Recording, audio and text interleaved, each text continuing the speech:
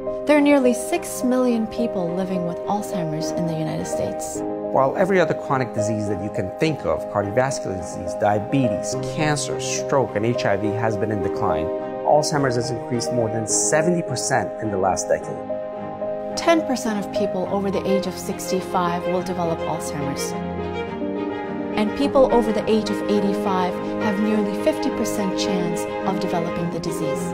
The next decade will be worse. Almost everyone, certainly every family, will be affected by this catastrophic disease.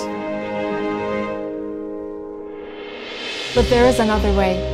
What if we told you that 90% of Alzheimer's cases can be prevented? This isn't just an estimate or wishful thinking. That's a figure based on rigorous science and the remarkable results we saw in our own clinical practice.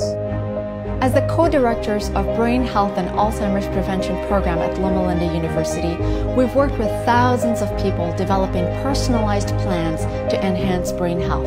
Our program is based on nutrition, exercise, how to unwind and restore, and other ways to optimize your health. Now the power to stop this debilitating disease is in everyone's hands.